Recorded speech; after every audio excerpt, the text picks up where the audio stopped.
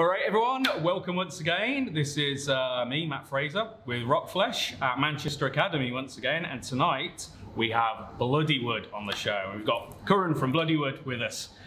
Welcome along. Thanks very much for chatting with us. Oh, my pleasure. Cool, cool. So, um, you just started the UK dates, didn't you? Um, and did the U- Euro dates. Yeah. Just, how's it gone? How's it gone so far? Uh, you know, I know this sounds kind of. Uh, I, I, I say this always, but it's it it blows our mind every time we Yeah. go on tour. You know, we we come with such less expectations, and you know, uh, you know this this whole tour with this whole tour, only two dates weren't sold out, and those were also really close to selling out on the last day. Oh, brilliant. So yeah, and it's only our second, technically our second ever tour of this place. Yeah. Because there was this festival run, but that's a festival run, it's completely different. But you know, every time, every time we play a new city, we're like, is this really happening? Yeah. You know, are we really that lucky? You're like pinching yourself. Yeah, like, is yeah. this happening? Yeah. so, what are your favourite places that you visited on this tour? Um, so my favorite place was definitely Scotland. Really, really. It was a Glasgow date, wasn't Glasgow, it? Yeah. Yes. Um, so I don't. We don't really get to explore the city much, but That was what I was going to ask. yeah, actually, but- yeah. but the drive to that place is so beautiful. Oh, yeah, it's so beautiful. I, you know, uh, when I woke up, I just, uh, you know, pushed the curtain aside from my bunk and I just kept staring outside for half an hour. And I've never done that because the moment I wake up, I have to go grab some water or something and Yep. pee. I just held it all together because I didn't want the view to stop. yeah. So It's like, oh, Yeah. there. So, oh, amazing. yeah, What was the crowd like in Glasgow? amazing. They were Yeah. so vocal, but in a good way. yeah, yeah, yeah. And they had that chant, um, here we, here we, here we fucking go. Oh, magical, magical.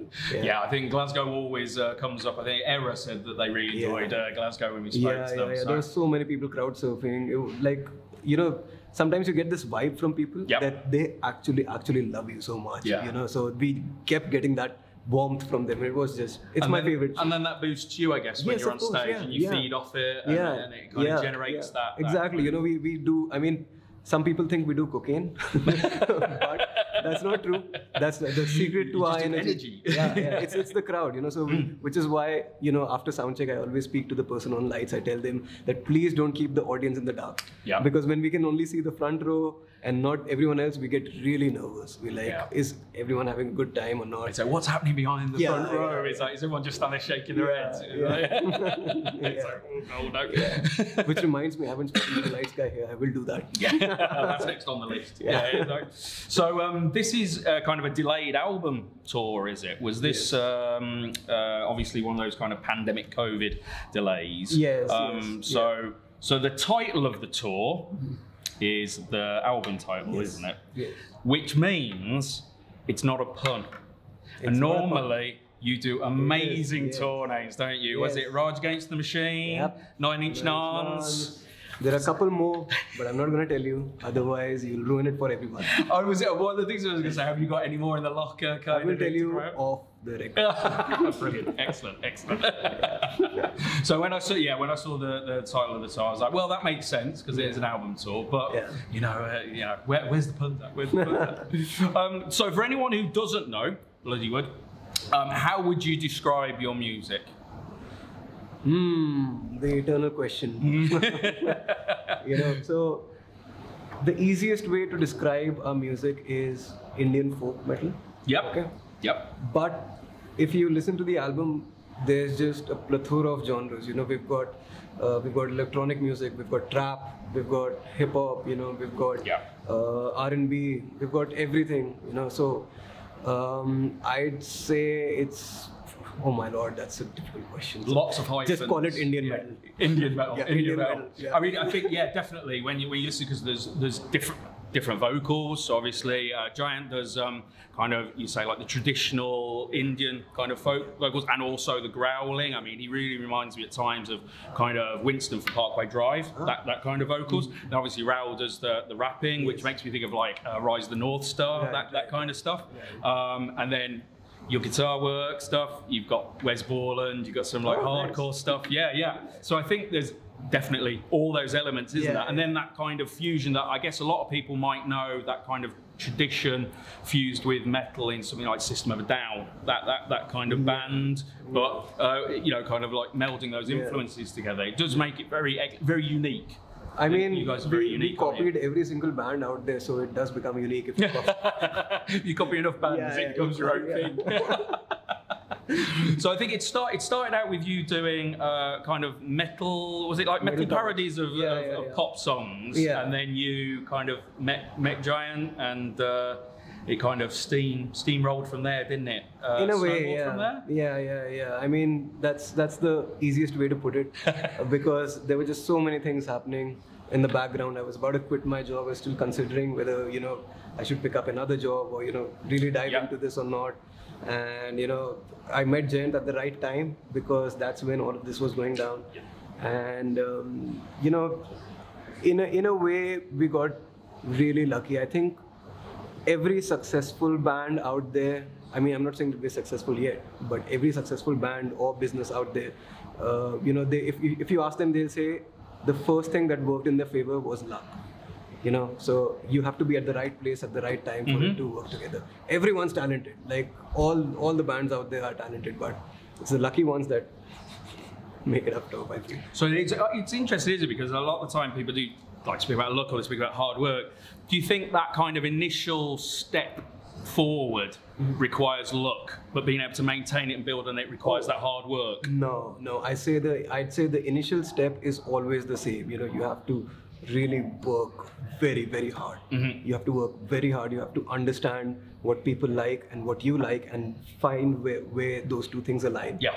Make that music, and then it's about luck. Once you've put out your best product, you know, once you've once you've put out you know your best music, your best video, and then it's about luck, man. yeah, it, Then it's- that's that's the, that's It's the the final- truth, it's the final it's, piece the of the jigsaw. Yeah, Yeah, final, yeah. but the most important, I'd. Yeah, definitely. Yeah. So, um, Indian metal, I guess, like lots of people know, kind of like you know, I guess you know, Australian metal, uh, Japanese metals, you know, a big thing. We see a lot of bands from Japan. So there's people that it's what's the scene like? Um, so, I mean, in- in New yeah, is New Delhi a hotbed for for metal? Oh no, no, no. oh no. I mean, we had our first open air festival in three years this year. Wow. Yeah. Yeah. And we have two venues that let bands play. And Right. both of them hate metal bands. so it's So- definitely not the hotbed. No, exactly. No, yeah, and it's not something that's uh, kind of like growing either. I know we, we've spoken with a, a couple of bands, like say Mexico with Anima Tempo and stuff, where they're saying it, it's something that's growing a lot more now because of you know the success of certain kind of like Mexican bands and stuff. Do you feel that that not that there isn't a market in India for you guys, but that it's but your your kind of musical professional home is now kind of overseas almost? Um, It's a difficult question. No, no, no, no. It's, it's actually a very good question. Uh, I'd say that when we when we started out, uh, we like Jayant and I had been in bands before, Yeah. multiple bands, and we started out with the aim of going global, because we knew that you can't be local and be metal, uh, especially in India, right? Um, not to say there isn't a thriving music scene within India, but it's in with metal, it's it's not there. Yeah, to be sure. honest. You can't make a living over there as a middle band. But we always aim to be global, and we're very, again, lucky that word just keeps coming up that people across the globe accepted our music and, you know, started liking it. Um, but in terms of where where home is, okay, and where our music is, and where we'd love to keep making music from, that's always going to be India. Yeah. Because, you know, if you I mean, you you can take us out of India, but you can't take India out of us. You know. Yeah. Yeah. Brilliant. So you know, yeah, yeah. So that's that's where our home is. That's where we'll work from, but we will always, of of course, tour globally. Yeah. Um, so uh, I'd say our home and our business home is India, but we serve the world. Yeah.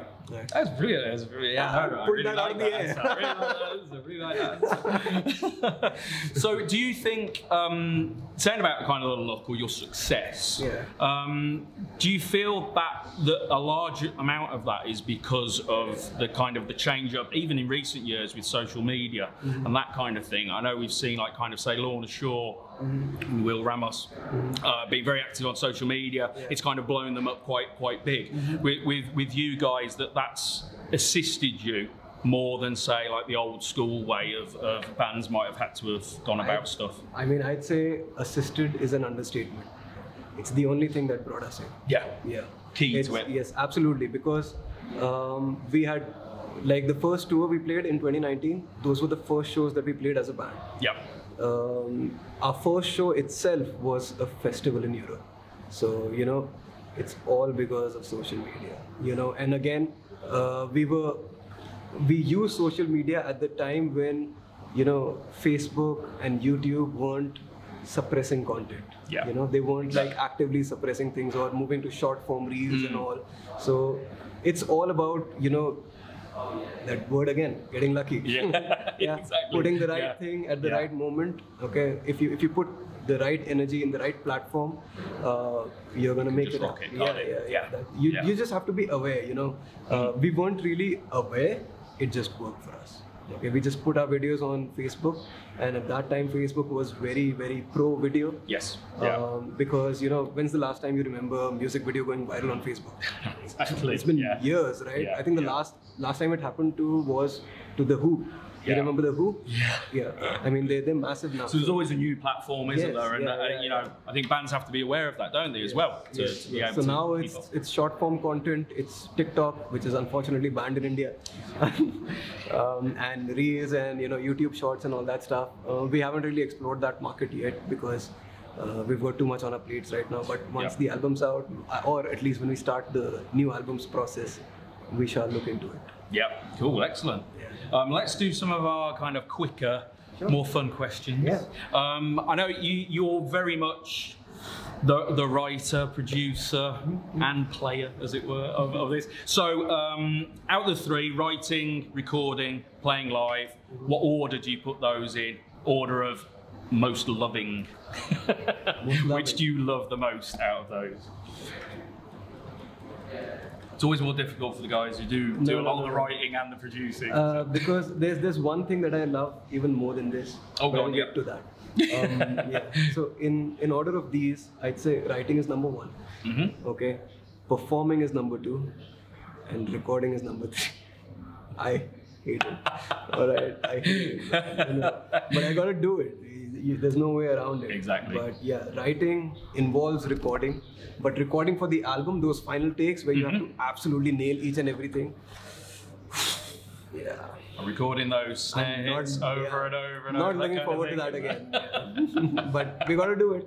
Yeah, no So what? So what's your fourth thing that went to the top? Oh, that's my number one thing. Uh, yeah. Num- the number one thing is releasing the music Right. because that's when you know, that's when you know uh, how much people value your music. Yeah. and how much it changes their lives. And you know what you made in your bedroom can affect so many lives. And you know it can bring so many people together. It can you know uh, bring i mean it can sometimes help people have a you know better day. And sometimes it can bring them away from you know a point where they're about to take their lives. Yeah. so Yep. it's it's just that that point you know that that point when you finally realize that it was worth it Yeah, you know everything definitely. was worth it and you know uh, yeah yeah it's it's it's the best feeling in the world Yeah. I know. Uh, yeah, I know. As a band, um, you're very social, uh, very aware of kind of social awareness, social impact, charity work, often like kind of uh, profits to charitable thing. That so it's not just almost the kind of meaning of the songs and the lyrics of the songs. It's actually what you can put back, isn't it, to, to communities, etc. Yes, yes. Is it, is that something that you always wanted to be able to do? Once From when you one. said like you know we want to be global, but we also want to give something back. Absolutely. From from day one, from the time we decided to start writing original music, it was all about creating a positive change in the world. Yeah. All about that. So yeah, that's that's and that's never going to change. You know? Perfect. because it's it's the most rewarding form of I'd say putting your I I mean shaping your art. Yes. You know? Yeah. Yeah, yeah, no, definitely. Yeah. I do. it's- That that wasn't the short fire questions, but Oh yeah, I forgot about that. uh, biopic of the band. Who would you have playing you in a biopic of the band? Oh my lord, that's a difficult question. Um, Jonah Hill. there we go. There we go. yeah, yeah. Why not? Why not? Why not? Um, if there was one person, real or fictional, dead or alive, who you could have join the band, who would it be and why? How are these questions quick, man? This They're making me think so They, much. they're quick to say, but they're, Oh, okay, they're deep okay. to think about. No, I'll have to. God damn it! Actually, no one, man. If anyone else joins the band, it's done. That's good. That's that's a good answer. Yeah, I like that answer. I like that answer. Um, Bloodywood Fest. You're obviously headlining it. Who else is playing at it? On the lineup. Who makes that lineup? You don't have to headline it. I was just throwing. Yeah, I don't want to offend any band. no, but most people say we play the main stage, but middle of the day. Um, I'd say, of course, if you, because you're asking me this question, no one else has a say. yeah, It's don't my-. Yeah. uh, Bring Me the Horizon. Love that band. Um, I absolutely love Babymetal also. Mhm. Um, Alter Bridge. Um, hmm. Hmm. You put me in a spot. um, okay, one more. I'm really into Bad Omens these days. Yep. Yeah, yeah. Yep, Bad brilliant. Omens, Yeah. yeah. no, no, we saw them the other day. Really, really good. Really, really good. Up and coming, as it were. Yeah, yeah. Um, right then. So, uh, thanks very much for chatting with us. Um, what can we expect from you over the next kind of 12 months, as it were, as a band? Um, you can expect us to um, to be That you're allowed to working really Yeah. hard, Yeah. working really hard to be underslept, obviously underpaid.